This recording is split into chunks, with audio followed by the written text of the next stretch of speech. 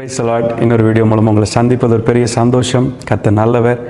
Christmas செலிப்ரேஷனில் எப்படி போயிட்டுருக்கு? கர்த்தர் உங்களை ஆசீர்வதிப்பாராக உங்கள் தேவைகளை இந்த நாட்களிலே கர்த்தர் சந்திப்பாராக.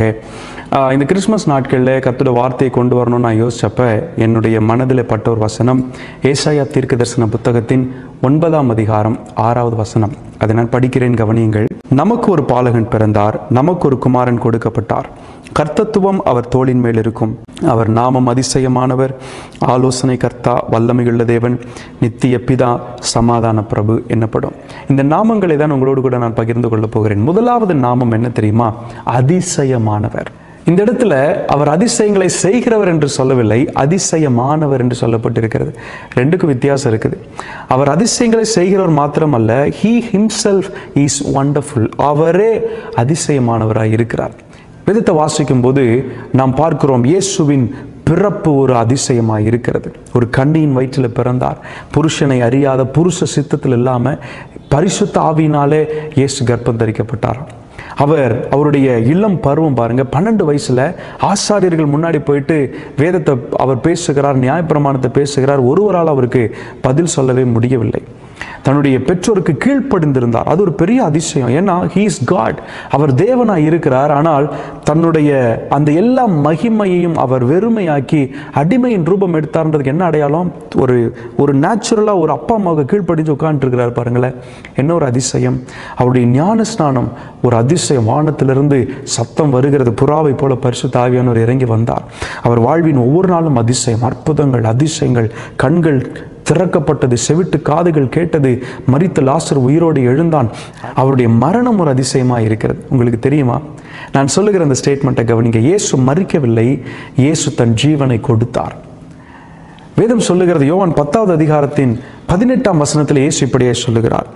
ஒருவனும் என் ஜீவனை என்னிடத்திலிருந்து எடுத்துக்கொள்ள மாட்டான். நானே அதை கொடுக்கிறேன். அதை கொடுக்கவும் எனக்கு அதிகாரம் உண்டு. அதை மறுபடியும் எடுத்துக்கொள்ளவும் எனக்கு அதிகாரம் உண்டு. இந்த கட்டளையை என் பிதாவினிடத்தில் பெற்றுக்கொண்டேன் என்றான் ஒருவனும் என் ஜீவனை எடுக்க முடியாது.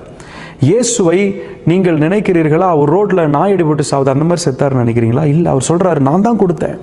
என் ஜீவனை நான் தான் கொடுத்தேன். ஏன்னா அவர் கொடுக்காவிட்டால் ஒருவராலும் எடுக்க முடியாதான். இப்படி ஒரு மரணத்தை கேள்விப்பட்டிருக்கீங்களா? காரணம் ஹீஸ் ஆல்மைட்டி காட் அவர் ஒண்டர்ஃபுல் அவர் அதிசயமானவர். மிகப்பெரிய அதிசயம் அவர் உயிரோடு எழுந்தார்.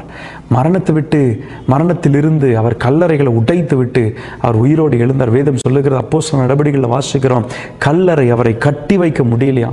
டெத் குடின் ஹோல்டு மரணம் அவரை கட்டி வைக்க முடியவில்லை. காரணம் அவர் அதிசயமானவர். இந்த அதிசயமான தேவன் இந்த நாளிலும் கூட உங்களுக்கு ஒரு வாக்குத்தத்தத்தை கொடுக்கிறார்.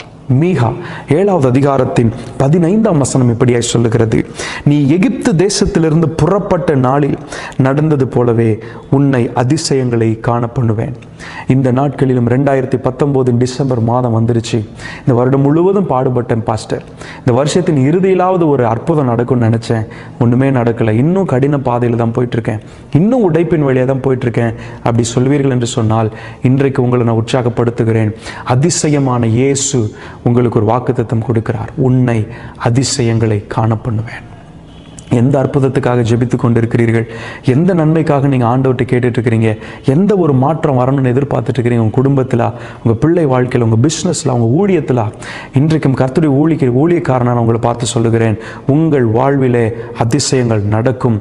கர்த்தரே அதை செய்வார். எப்பேற்பட்ட அதிசயம் தெரியுமா? எகிப்திலிருந்து இஸ்ரவேல் ஜனங்கள் வெளியே வந்தபோது நடந்தது போலவே செங்கடல் பிளந்த அதிசயம் யோர்தான் பிளந்த அதிசயம் கற்பாறையிலிருந்து தண்ணீர் வந்த அதிசயம் மாறாவின் நீர் மதுரமான அதிசயம் உங்கள் வாழ்விலும் நிச்சயமாய் நடக்கும். கர்த்தரே அதை செய்வார். இந்த நாட்களிலும் நம்புங்கள் விசுவாசியுங்கள். அதிசயமான கர்த்தர் உங்கள் வாழ்விலே அதிசயங்களை செய்வாராக. God bless you